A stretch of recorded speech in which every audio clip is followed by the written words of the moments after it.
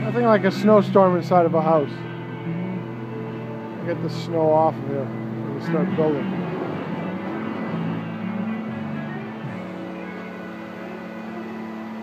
Looks pretty though.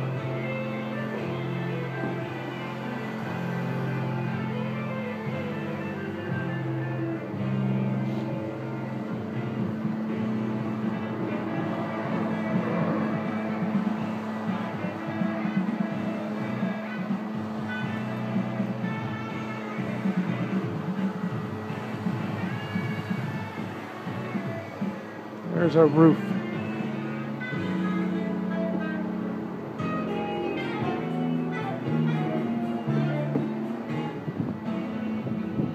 Got a roof sitting there waiting to be put up. But the weather doesn't seem to want to cooperate with us.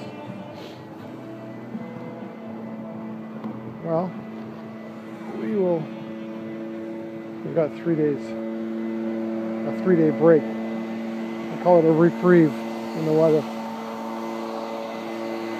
So it's getting up close to minus four this afternoon, minus two, I think, tomorrow, and then zero on um, Saturday. But 15 centimeters of snow, so doesn't look like we'll be working in that. Anyway. Yeah, you pray for work, you get work, and then uh, you forget to pray for good weather. Have to remember that next time I pray. Talk to you later.